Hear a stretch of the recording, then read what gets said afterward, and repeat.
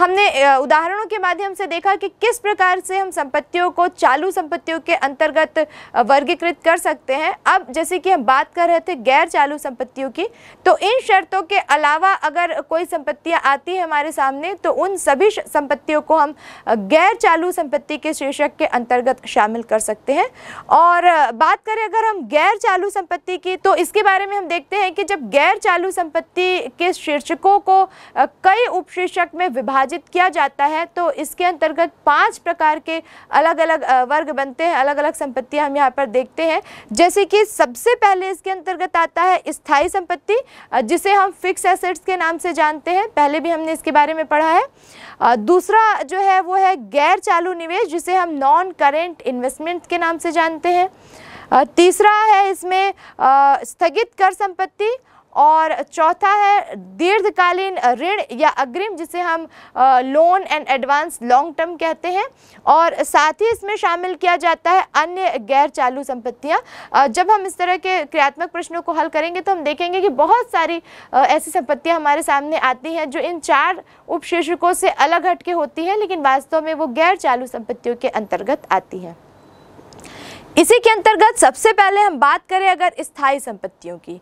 तो स्थायी संपत्तियों के बारे में जैसे कि एक साधारण शब्दों में हमने जाना है कि बहुत बड़ी पूंजी की आवश्यकता होती है इनको खरीदने के लिए। एक बार जब हम उनको परचेस कर लेते हैं तो लंबे समय तक उनसे लाभ प्राप्त होता रहता है। आ, तो इन्हीं सब बातों को भी हम ध्यान में रखते हुए कुछ और इसके बारे में जानेंगे। वास्तव में जब हम बैलेंस शीट के दृष्टिकोण से स्थायी संपत्तियों को समझने का प्रयास करते हैं तो यहाँ हम देखते हैं कि ये जो स्थायी संपत्तियाँ होती हैं इनको दो भागों में बांटा जाता है। अगर एक हम देखें तो ये मूर्त स्थायी संपत्तियाँ होती हैं और दूसरा ये अमूर्त स्थायी संपत्तियाँ भी हो सकती है, जिन्हें हम टेंजिबल एसेट्स और नॉन टेंजिबल एसेट्स के नाम से जानते हैं। दूसरा एक वर्गीकरण किया जा सकता है इसमें कि ये पूंजीगत संपत्ति जो कार्य प्रगति पर है, यानी वर्क इन प्रोग्रेस के अंतर्गत इनकी कैलकुलेशन की जाती है, और इसका ही एक दूसरा भाग होता है विकासाधीन जो संपत्तियाँ होती हैं, जो डेवलपमेंट के प्रोसेस में जो, है, जो काम कर रही हैं। तो चार अलग अलग भागों में बांटकर हम इनका अध्ययन करते हैं। और साथ में अगर हम जाने कि टेंजेबल एसेट्स जो है, मूर्त संपत्तियाँ जो है वो क्या है तो इनके बारे में हम सीधे सीधे से कह सकते हैं कि तो ये ऐसी संपत्तियाँ हैं, ऐसी स्थायी संपत्तियाँ हैं जिन्हें हम देख सकते हैं, छू सकते हैं। जैसे कि हम बात करते हैं भूमि की, भवन की मोटर वाहन की फर्नीचर की तो ये सारी की सारी जो है टेंजेबल एसेट्स यानी कि मूर्त स्थायी संपत्तियाँ हैं। दूसरा हम बात करते हैं अमूर्त स्थायी संपत्तियों की तो बिल्कुल मूर्त संपत्तियों के अपोजिट यानी जिन्हें हम देख नहीं सकते, छू नहीं सकते, लेकिन वास्तव में वो एक संपत्ति के रूप में हमारे व्यापार में रहती हैं। जैसे हम बात करते हैं ख्याति की, यानी कि गुडविल की। व्यापार की जो गुडविल है, व्यापार की जो प्रसिद्धि है, वो अपने आप में एक प्रकार से संपत्ति का रूप धारण कर लेती है, स्थायी संपत्ति के रूप में वो आती है, लेकिन क्योंकि उसे हम देख नहीं सकते, छू नहीं सकते इसलिए हम उसे नॉन टेंजिबल यानी कि अमूर्त संपत्तियों के अंतर्गत शामिल करते सकते हैं। इसी तरह हमने पिछले अध्यायों में देखा, पेटेंट के बारे में हमने जाना, ट्रेडमार्क के बारे में हमने जाना तो ये सारी जो चीज़ें हैं, ये सारी जो संपत्तियाँ हैं, वास्तव में संपत्ति के रूप में कार्य करती हैं, लेकिन क्योंकि ये नॉन टेंजिबल है, इनको हम देख नहीं सकते, छू नहीं सकते तो ये सारी जो संपत्तियाँ हैं नॉन टेंजिबल एसेट्स यानी कि अमूर्त संपत्तियों के अंतर्गत आती हैं। अब अगर हम बात करें पूंजीगत कार्य प्रगति पर, इसके अंतर्गत जो संपत्ति आती है तो कैपिटल वर्क इन प्रोग्रेस तो इसके अंतर्गत उन संपत्तियों को शामिल किया जाता है जो कि किसी कार्य के निर्माण में लगी हुई है, वो कार्य अभी समाप्त नहीं हुआ लेकिन सतत जारी है। इसके अंतर्गत जिन संपत्तियों का इस्तेमाल किया जाता है, वो उन सारी संपत्तियों को इसके अंतर्गत शामिल किया जाता है।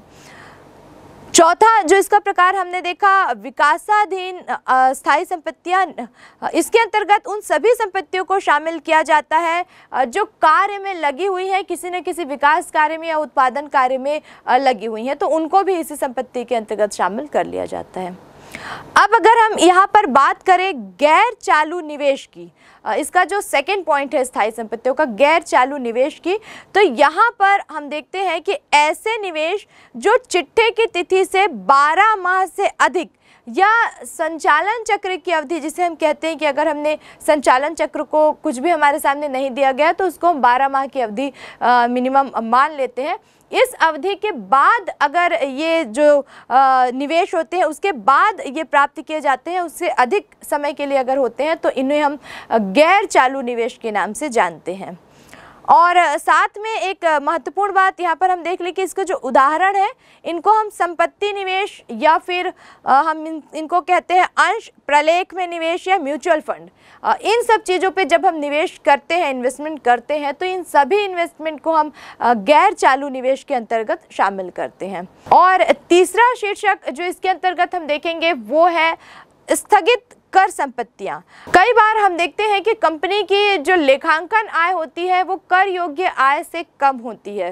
वास्तव में जो लिमिटेशन जो निर्धारित की जाती है, जिसके ऊपर अगर इनकम जाती है तो कर टैक्स जो है वो पेबल होता है और वैसी कंडीशन अगर नहीं बन पाई है, यानी कि वास्तविक जो बैलेंस शीट जो दिखा रहा है इनकम वो जो है वो कर योग्य आय से कम है। तो दोनों के बीच का जो डिफरेंस होता है, उसी को हम यहाँ पर स्थगित कर संपत्तियों के नाम से जानते हैं। साथ ही एक पॉइंट यहाँ पर हम देखते हैं, दीर्घकालीन ऋण और अग्रिम, यानी कि ऐसे ऋण या अग्रिम लोन एंड एडवांसेस जो पेबल होते हैं संचालन चक्र की अवधि के बाद, यानी कि चिट्ठा बनाने की तिथि के 12 माह की अवधि के बाद जो पेबल होते हैं दे होते हैं। उन सभी ऋण और देताओं लोन एंड एडवांसेस को हम इसके अंतर्गत शामिल करते हैं। साथ में हम इसमें देखते हैं कि जो दीर्घकालीन ऋण और अग्रिम होते हैं इसके अंतर्गत हम कुछ छोटे छोटे बिंदुओं को शामिल करते हैं उपशीर्षक के अंतर्गत जिसके अंतर्गत सबसे पहले हम देखते हैं पूंजी और अग्रिम। यानी कि वास्तव में ऐसा अग्रिम या ऐसा एडवांस या लोन जो स्थायी संपत्तियों को खरीदने के लिए दिया जाता है। जैसे कि हमने पहले देखा कि कौन कौन सी स्थायी संपत्तियाँ उनको परचेस करने के लिए जो लोन दिया जाता है, जो एडवांस दिया जाता है, उसे हम कैपिटल एडवांसेस यानी कि पूंजी अग्रिम के नाम से जानते हैं। दूसरा इसके अंतर्गत आता है दूसरा इसके अंतर्गत आता है प्रतिभूति जमानती निक्षेप, जिसे हम बोलते हैं सिक्योरिटी डिपॉजिट। किसी प्रकार के लोन को जब हम प्रतिभूतियों के आधार पर, कुछ गारंटी के आधार पर, कुछ जमाओं के आधार पर लेते हैं तो वहाँ पर जो स्थिति बनती है, वो कहलाती है प्रतिभूति निक्षेप या फिर प्रतिभूति जमानती निक्षेप। और अन्य बहुत सारे ऋण ऐसे होते हैं जो स्थायी संपत्तियों से संबंधित होते हैं, उन सभी ऋणों को इसके अंतर्गत शामिल किया जाता है। साथ में इसके अगले शीर्षक में हम गैर चालू संपत्तियों को शामिल करते हैं और अर्थ के आधार पर इसको देखा जाए तो वास्तव में ये एक वर्ष या उससे कम समय के लिए जो जिन संपत्तियों का निर्माण किया जाता है, यानी संचालन चक्र की अवधि से कम के लिए ये होती है या उसके अंदर के लिए होती हैं तो इन संपत्तियों को हम गैर चालू संपत्तियाँ कहते हैं। और आइए देखें कि इसमें कौन कौन से उप शीर्षकों को शामिल किया जाता है। तो सबसे पहले इसके अंतर्गत आता है सप्ताह समता अंश, यानी कि इक्विटी शेयर में किया जाने वाला इन्वेस्टमेंट और सेकंड नंबर पर आता है, पूर्वाधिकार अंशों पर किया जाने वाला इन्वेस्टमेंट जब हमने अंशों के बारे में पढ़ा था तो हमने देखा था कि कंपनी दो प्रकार के अंशों का निर्गमन करती है इक्विटी शेयर और प्रेफरेंशियल शेयर साधारण अंशों की अगर हम बात करें तो इसके अंतर्गत उन अंशों पर किया गया निवेश शामिल होता है जो केवल साधारण अंशों के लिए किया जाता है। ये वे अंश होते हैं जिन पर भुगतान का जो अधिकार होता है वो पूर्वाधिकार अंश के बाद होता है। यानी नाम से ही प्रतीत होता है कि साधारण अंश है। दूसरा जब हम बात करते हैं पूर्वाधिकार अंशों की तो ये वो निवेश होता है जो पूर्वाधिकार अंशों को खरीद कर किया जाता है और वास्तव में ये एक प्रकार के ऐसे अंश होते हैं जिन पर भुगतान जो होता है वो उन, उस, जिन पर भुगतान की प्राथमिकता होती है। यानी कि पहले पूर्वाधिकार अंशों को भुगतान कर दिया जाता है और उसके बाद जो राशि बचती है उसको कंपनी की स्थिति के अनुसार समता अंशधारियों को जिनका भुगतान किया जाता है। एक विशेष बात यह है कि समता अंशधारियों पर जो भुगतान की राशि रहती है, लाभांश की, वो अनिश्चित रहती है। लेकिन पूर्वाधिकार अंशों पर जो भुगतान की राशि रहती है, वो पूर्व निश्चित होती है। जैसे कि आपने पहले भी देखा होगा कि जब पूर्वाधिकार अंशों की हम बात करते हैं तो पहले से ही उसमें लिख दिया जाता है, पाँच प्रतिशत पूर्वाधिकार अंश चार प्रतिशत पूर्वाधिकार अंश यानी कि ये जो पाँच प्रतिशत, चार प्रतिशत है, ये लाभांश की देय राशि है जो कि पहले से ही निर्धारित कर दी गई है। तीसरा जो इसके अंतर्गत शामिल किया जाता है, वो होता है सरकारी प्रतिभूतियाँ, ट्रस्ट में अगर हम इन्वेस्टमेंट करते हैं गवर्नमेंट सिक्योरिटीज़ में हम अगर कुछ पैसा लगाते हैं तो उसको इसके अंतर्गत शामिल किया जाता है। और यहाँ पर हम देखते हैं कि ऋण पत्र या डेबेंचर में भी इन्वेस्टमेंट किया जाता है। जैसे कि हमने डेबेंचर वाले पूरे टॉपिक में देखा कि किस प्रकार एक कंपनी अपनी अतिरिक्त राशि की पूर्ति ऋण पत्रों के माध्यम से करती है। तो अंशों की राशि पर्याप्त हो जाने पर या अंशों का निर्गमन अधिकृत अंश पूंजी के लगभग हो जाने पर अतिरिक्त राशि के लिए फिर जब ऋण पत्रों का निवेश, ऋण पत्रों का, को जब बेचा जाता है तो उसमें जो निवेश किया जाता है, उन ऋण पत्रों को जो खरीदता है इन ऋण पत्रों में किया गया निवेश भी गैर चालू संपत्तियों के अंतर्गत शामिल किया जाता है। इसी तरह एक इन्वेस्टमेंट हम देखते हैं म्यूचुअल फंड और दूसरा पार्टनरशिप फंड म्यूचुअल फंड की बात करते हैं तो आप सभी जानते होंगे कि म्यूचुअल फंड जो है, वर्तमान में इन्वेस्टमेंट का सबसे ज़्यादा प्रचलित और ज़्यादा से ज़्यादा लाभ देने वाला एक इन्वेस्टमेंट है, जिसके अंतर्गत बहुत सारी पब्लिक और प्राइवेट कंपनियाँ लगी हुई हैं। और इसके अंतर्गत अगर म्यूचुअल फंड्स के अंतर्गत हम किसी प्रकार का इन्वेस्टमेंट अगर करते हैं, कोई कंपनी अगर करती है तो ये जो इन्वेस्टमेंट होता है, वो गैर चालू संपत्तियों के अंतर्गत शामिल किया जाता है। पार्टनरशिप फंड की हम बात करें तो अगर पार्टनरशिप फंड किसी प्रकार के शेयर डिबेंचर इशू करते हैं अपनी पूंजी को एकत्रित करने के लिए तो उसके आ, उसे जिसने खरीदा है वो जो निवेश होता है वो गैर चालू संपत्तियों के अंतर्गत शामिल किया जाता है। आ, तो ये तो हमने बात कही जबकि हम अन्य गैर चालू संपत्तियों के अंतर्गत विभिन्न मदों को शामिल करेंगे। नेक्स्ट एक टॉपिक यहाँ जब हम बैलेंस शीट बनाएँगे तो यहाँ हमको देखने को मिलेगा संपत्तियों के अंतर्गत स्टॉक या रहतिया। स्टॉक के बारे में हमने पहले भी देखा है कि एक कंपनी जो है वो वर्ष भर जितने माल का उत्पादन करती है और वर्ष के अंत तक वो जितना बेच लेती है। बाद में, वर्ष के अंत में जिस दिन वो अपने बुक्स ऑफ़ अकाउंट क्लोज करती है, वहाँ पर जो उसका माल बचा रह जाता है बना हुआ, वो उसका स्टॉक कहलाता है, जिसे हम क्लोजिंग स्टॉक कहते हैं। और फिर बाद में यही क्लोजिंग स्टॉक अगले वर्ष, यानी कि जब से उसका वित्तीय वर्ष प्रारंभ होता है उस वर्ष के लिए ओपनिंग स्टॉक यानी कि प्रारंभिक स्टॉक के नाम से जाना जाता है। लेकिन यहाँ पर हम केवल निर्मित माल के स्टॉक की बात नहीं करते।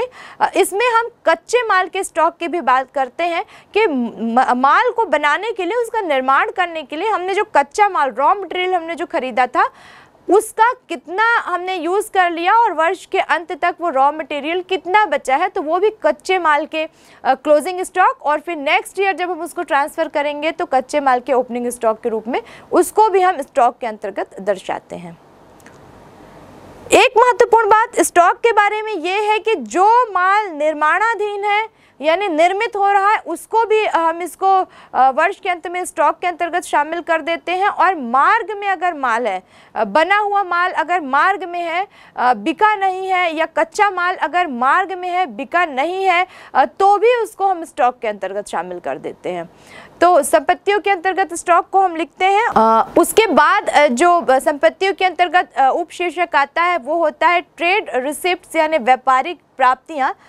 जिसके अंतर्गत हम देखते हैं कि वो राशि जो एक वर्ष के दौरान प्राप्त हो जाती है जैसे कि हम बात करते हैं देनदारों की, प्राप्ति विपत्र की, इस तरह से जो प्राप्तियाँ जिनको हम लिखते हैं संपत्तियों के साइड में, ये सारी जो प्राप्तियाँ होती हैं, ये व्यापारिक प्राप्तियों के अंतर्गत आती हैं। साथ ही एक टॉपिक हम देखते हैं इसमें नगद या नगद तुल्य। नगद यानी कि जो हमारे पास कैश है जिसे हम लिखते हैं कैश इन हैंड या हमारे पास बैंक में जो कैश है जिसे हम कहते हैं कैश एट बैंक और नगद तुल्य यानी कि कैश इक्विवेलेंट यानी इतने शीघ्रता से हम उसको आ, कैश में चेंज कर सकते हैं और उनके डूबने की भी कोई संभावना नहीं रहती है जिसे हम चेक विनिमय विपत्र या हुंडियों को इसके अंतर्गत शामिल करते हैं जिसे बहुत आसानी से बैंक के माध्यम से कैश के रूप में परिवर्तित कर सकते हैं। फिर इन्हीं संपत्तियों में शामिल किया जाता है अल्पकालीन ऋण और अग्रिम, यानी कि ऐसे ऋण या ऐसे अग्रिम जो बहुत कम समय, यानी कि एक वर्ष के भीतर या हम कहें तो संचालन चक्र की अवधि के भीतर के लिए होते हैं। और इसी प्रकार हम इसमें शामिल करते हैं अन्य चालू संपत्तियाँ अब बहुत सारी संपत्तियाँ हमको ऐसी भी देखने को मिल जाती हैं, जिन्हें हम अभी तक हमने जिन शीर्षकों को अलग अलग डिवाइड किया, उसमें उनका नाम नहीं आया है। तो जब हम प्रैक्टिकली इन क्वेश्चंस को बनाएँगे, क्रियात्मक प्रश्नों को हल करेंगे तो वहाँ हम देखेंगे कि बहुत सारी संपत्तियाँ ऐसी होती हैं जो कहीं भी किसी शीर्षक या उपशीर्षक के अंतर्गत प्रदर्शित नहीं की गई हैं। तो उन्हीं संपत्तियों को हम यहाँ पर चालू संपत्तियों के अंतर्गत शामिल कर लेते हैं। जैसे कि हम कई बार देखते हैं, बैलेंस शीट में कुछ मदे दी रहती है। विनियोग पर अर्जित ब्याज, पूर्व दत्त व अर्जित आय तो इस तरह के जो छोटे मोटे इनकम होते हैं, उन सभी को संपत्तियों से वो रिलेटेड होते हैं तो उन सभी को हम चालू संपत्तियों के अंतर्गत शामिल कर लेते हैं। दिनकर लिमिटेड के अधिकृत पूंजी पचास हज़ार, दिनकर लिमिटेड की अधिकृत पूंजी पचास लाख रुपए है, जो कि प्रति सौ रुपए वाले समता अंश में विभाजित है। कंपनी ने चालीस हज़ार अंशों के लिए आवेदन पत्र आमंत्रित किए जबकि छत्तीस हज़ार अंशों के लिए आवेदन पत्र प्राप्त हुए। समस्त मांगे मान ली गई और प्राप्त की गई।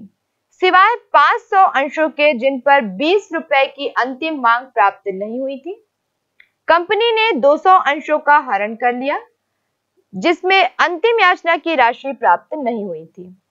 तुलन पत्र में अंश पूंजी कैसे दर्शाई जाए, इसके लिए खातों की टिप्पणी भी तैयार कीजिए।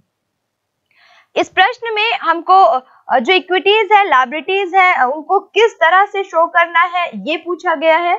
और दूसरी बात की जो इक्विटीज है लाइबिलिटीज है उन उनमें जो अमाउंट हमने कैलकुलेट किए है वो कहाँ से आई किस तरह से आई उसको शो करने के लिए हमको नोट्स ऑफ़ अकाउंट्स बनाना है। जैसे कि हमने वीडियोस में देखा कि जो भी जिन मदों को हम बैलेंस शीट में यहाँ पर शो करते हैं उनके लिए हमको एक नोट्स ऑफ़ अकाउंट्स बनाना पड़ता है ताकि बहुत आसानी से हमको ये पता चल जाए कि ये जो अमाउंट है वो किस तरह से कैलकुलेट होकर बैलेंस शीट में आई है। आ, तो सबसे पहले हम बुक्स ऑफ़ दिनकर लिमिटेड की बैलेंस शीट यहाँ पर हम बनाएँगे।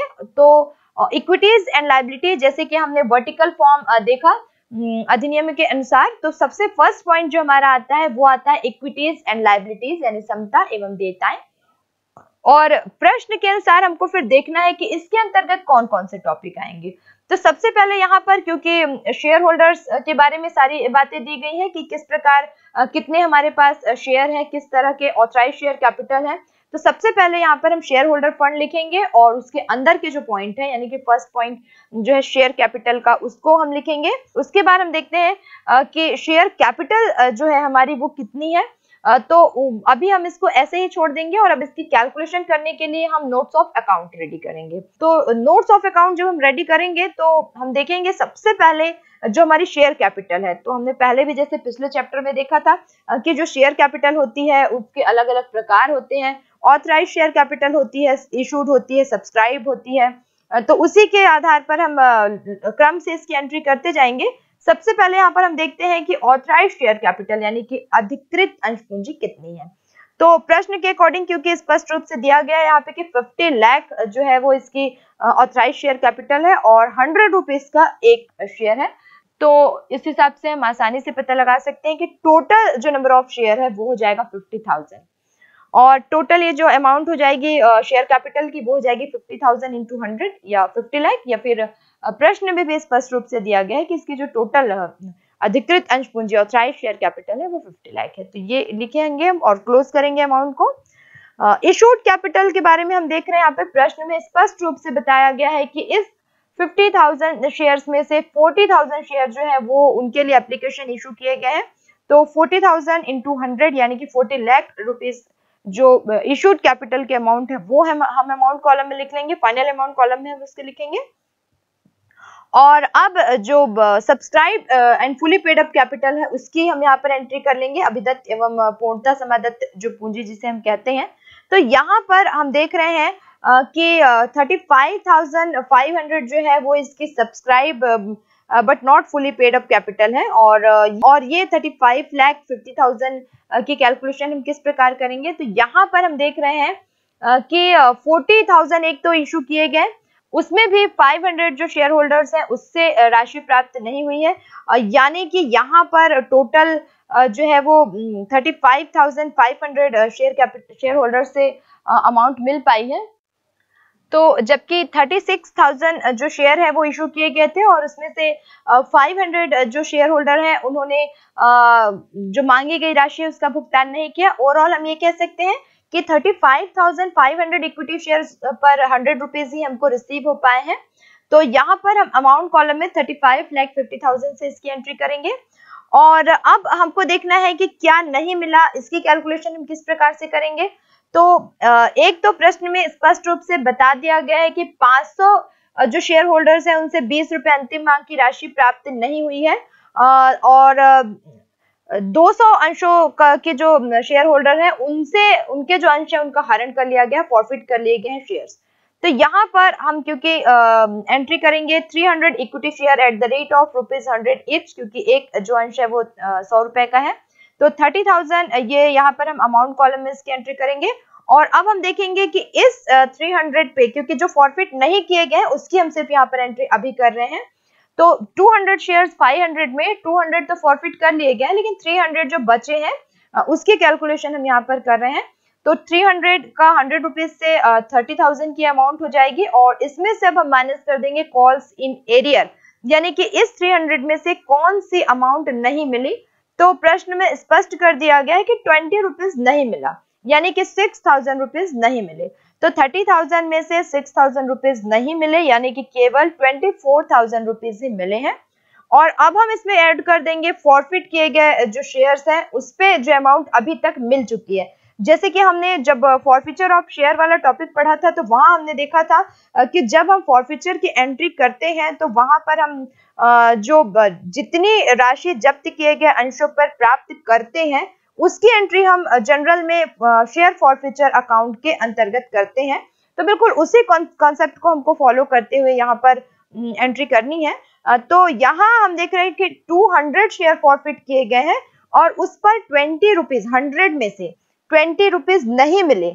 इसका मतलब है कि एटी रुपीज़ ही अभी तक मिल पाए हैं। और टू हंड्रेड इंटू एटी यानी कि सिक्सटीन थाउज़ेंड ऐसी अमाउंट है, जिसको हम शेयर फॉरफीचर के अंतर्गत डालकर लिखते, अगर हम जनरल एंट्री करते तो।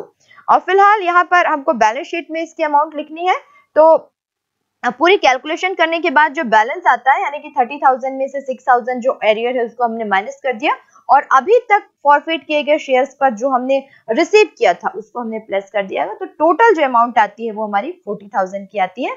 और जब हम इसको thirty five lakh fifty thousand में प्लस कर देते हैं तो ये हो जाता है thirty five lakh ninety thousand अब ये जो thirty five lakh ninety thousand है, ये हमको जो बैलेंस शीट में फाइनल अमाउंट हमको जो शो करनी थी, वो हमने रिसीव कर ली है। वो हमने यहाँ से कैलकुलेट कर ली है और अब हम अपना जो बैलेंस शीट जो हमको बनानी है, उसमें हम इसको शो करेंगे। हमने पहले से इसमें सारी मदे लिख ली है, जिसके अंतर्गत हमको यहाँ पर एंट्रीज करनी है। तो टोटल क्योंकि और कोई पॉइंट्स इसमें है ही नहीं जो कैलकुलेशंस होती हैं, वो नोट्स ऑफ़ अकाउंट में होती है, वो हमने अच्छे से कर ली है।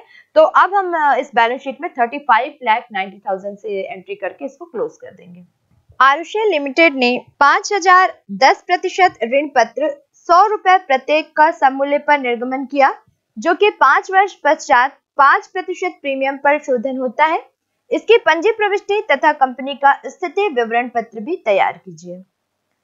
सबसे पहले हम इसके लिए जब जनरल प्रविष्टि करेंगे तो हमने जैसे डेबेंचर वाले चैप्टर में प्रविष्टि की थी, एक तो डेबेंचर को इशू करने की वहाँ पर हमको ये देखना होता था कि हम उसको समूल्य पर निर्गमित कर रहे हैं, बट्टे पर निर्गमित कर रहे हैं या प्रीमियम पर निर्गमित कर रहे हैं, उसके अकॉर्डिंग हम इसकी जनरल एंट्री करते हैं। और फिर दूसरा, शोधन भी करते थे रिडम्पशन वाले चैप्टर में। हमने देखा कि जब हम शोधन करेंगे तो भी हमको ध्यान में रखना है कि ये जो शोधन है वो एड पार यानी सम मूल्य पे हो रहा है एट डिस्काउंट यानी बट्टे पे हो रहा है कि एट प्रीमियम यानी कि प्रीमियम पे हो रहा है। और उसके अकॉर्डिंग हम इसमें जनरल एंट्री करेंगे। क्योंकि प्रश्न में स्पष्ट रूप से दे दिया गया है फाइव थाउज़ेंड डिबेंचर है हंड्रेड रुपीज़ का एक डिबेंचर है और सम मूल्य पर ये निर्गमित किए गए हैं, दस प्रतिशत जो है वो इसमें डिविडेंड प्राप्त होगा।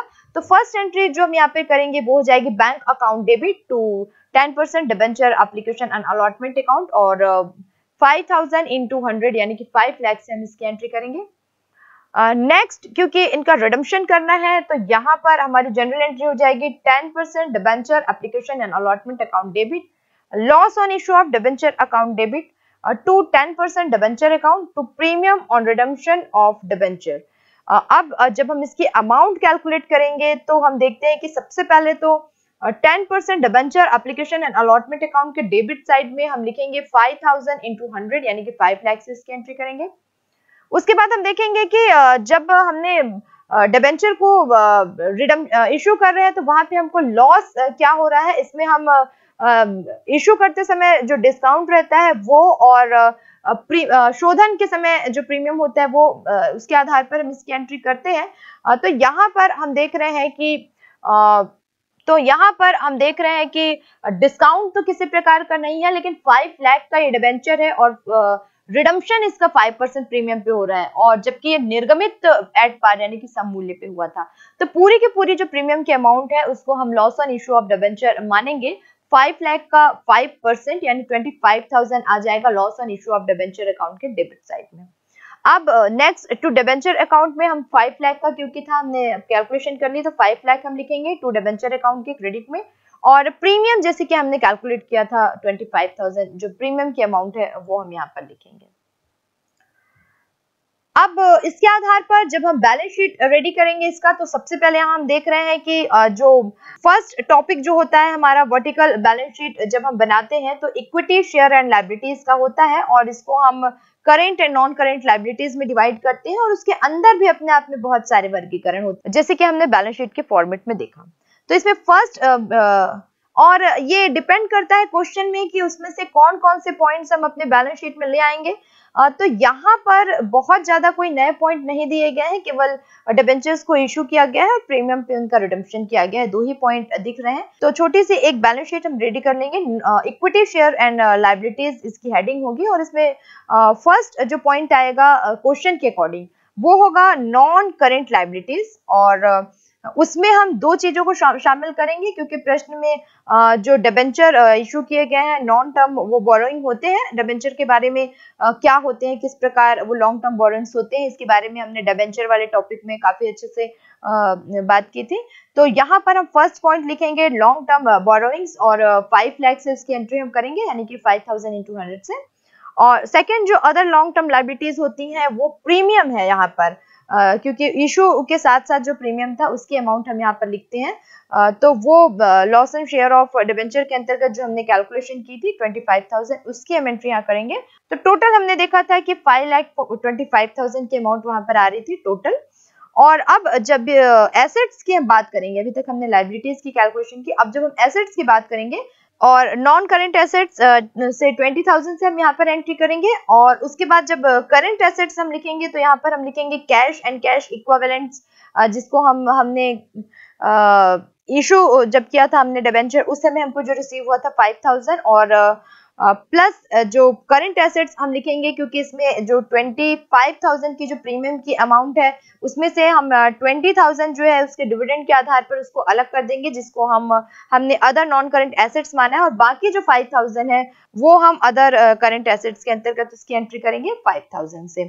तो टोटल जब हम इसका करेंगे तो हम देखते हैं कि लाइबिलिटीज जो है इक्विटी शेयर्स एंड लाइबिलिटीज वो five lakh twenty five thousand से क्लोज होती है और एसेट्स भी टोटल जो है हमारी, वो five lakh twenty five thousand है। कंपनी अधिनियम उन्नीस सौ छप्पन के अनुसूची चार के भाग एक के अनुसार कंपनी के चिट्ठे में निम्न मदों को किस मुख्य शीर्षक एवं उप शीर्षक भी दर्शाएँगे? यहाँ पर हमने देखा कि कंपनी अधिनियम उन्नीस सौ छप्पन की अनुसूची चार के भाग एक के अनुसार जब हम संपत्ति और दायित्वों को शीर्षक और उपशीर्षक में विभाजित करते हैं तो एक शीर्षक के अंतर्गत कई उपशीर्षक, यानी कि कई मदों को शामिल किया जाता है।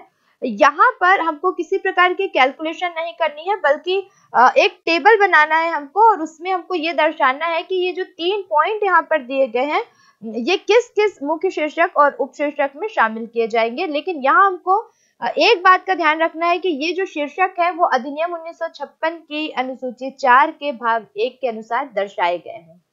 तो सबसे पहले हम चार कॉलम का एक टेबल बना लेंगे, जिसमें पहला कॉलम जो होगा, वो सीरियल नंबर होगा। दूसरा पर्टिकुलर होगा, यानी कि कौन कौन से आइटम जो क्वेश्चन में दिए गए हैं, उसकी हम एंट्री यहाँ करेंगे। और फिर दो हेडिंग होते हैं, जिनमें हम एक को मेजर हेडिंग, यानी मेन जो टॉपिक होता है, वो कहते हैं, और उसके अंतर्गत बहुत सारी सब हेडिंग होती है तो लास्ट फोर्थ जो कॉलम है, वो सब हेडिंग के लिए बनाया जाएगा। तो यहाँ पर क्वेश्चन में हम फ़र्स्ट पॉइंट देख रहे हैं, भंडार एवं पुर्जे, यानी कि स्टोर्स एंड स्पेयर्स और दूसरा देख रहे हैं, प्रस्तावित लाभांश, यानी प्रपोज डिविडेंड और तीसरा है कंप्यूटर सॉफ्टवेयर यहाँ पर फ़र्स्ट जो है, भंडार एवं पुर्जे, क्योंकि ये स्टोर एंड स्पेयर्स है इनको हम इनको हम जो उत्पादन है, उसके लिए हम इनका प्रयोग करते हैं। तो ये करंट एसेट्स के अंतर्गत आ जाएँगे और साथ ही हमको ये भी ध्यान में रखना है कि हमने जो टेबल देखा है कंपनी अधिनियम उन्नीस सौ छप्पन के अनुसूची चार एक के अनुसार जो चिट्ठा बैलेंस शीट हमने देखी है, उसको भी हमको ध्यान में रखते हुए इसका आंसर देना है। तो ये जो स्टोर एंड स्पेयर है, इसका जो मेजर जो हेडिंग होगी होगी करंट एसेट्स और उसके अंतर्गत ये अदर करंट एसेट्स में आएँगी। दूसरा प्रपोज डिविडेंड जैसे कि हमने वीडियो में देखा प्रपोज डिविडेंड यहाँ पर पूछा गया है। तो वास्तव में इसकी अपनी एक हेडिंग होती है करेंट प्रपोज डिविडेंड की, जिसे हम करंट लाइबिलिटी कहते हैं। और इसके अंतर्गत बहुत सारी सब हेडिंग्स को शामिल किया जाता है।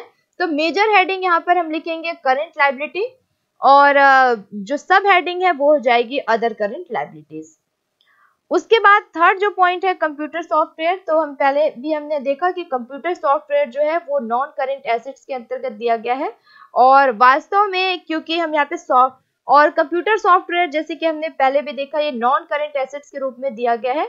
और वास्तव में जब हम सब हेडिंग लिखेंगे तो टेबल जो तो बैलेंस शीट के अकॉर्डिंग ये इंटेंजिबल एसेट्स में आएगा और वैसे भी हम देखते हैं कि ये सॉफ्टवेयर की बात कर रहा है कंप्यूटर सॉफ्टवेयर की बात कर रहा है। तो हालाँकि ये तो एसेट्स है, लेकिन हम उसको भौतिक रूप से महसूस नहीं कर सकते, इसलिए हम उसको नॉन इसलिए हम इसको इंटेंजिबल एसेट्स के अंतर्गत शामिल करेंगे। कंपनी अधिनियम 1956 की अनुसूची चार के भाग एक के अनुसार कंपनी के चिट्ठे में निम्न मदों को किस मुख्य शीर्षक एवं उप शीर्षक में दर्शाएँगे? पहला, सहायक संचय सब्सिडी रिज़र्व दूसरा, खनन अधिकार माइनिंग राइट तीसरा, डूबत ऋणों के लिए आयोजन प्रोविज़न फॉर डाउटफुल डेब्ट्स यहाँ पर भी इसके लिए हम चार कॉलम के एक टेबल का निर्माण कर लेंगे, जिसमें सबसे पहले कॉलम में हम सीरियल नंबर लिखेंगे, फिर पर्टिकुलर थर्ड कॉलम में हम मेजर हेडिंग लिखेंगे और फोर्थ कॉलम में सब हेडिंग। तो फ़र्स्ट जो है सहायक संचय, जिसे हम कहते हैं सब्सिडी रिज़र्व। तो जैसे कि हमने वीडियो में भी देखा और बैलेंस शीट में भी हम देख रहे हैं कि ये एक ऐसा रिज़र्व है जिसकी हेडिंग होती है रिज़र्व एंड सरप्लस। तो मेजर हेडिंग इसकी आएगी रिज़र्व एंड सरप्लस और क्योंकि ये सहायक संचय है, सब्सिडी रिज़र्व है, बहुत सारे इस प्रकार के छोटे मोटे रिज़र्व कंपनी बनाती है अपने छोटे मोटे व्यय को एडजस्ट करने के लिए। तो इसे हम अदर रिज़र्व के अंतर्गत सब हेडिंग में डालेंगे।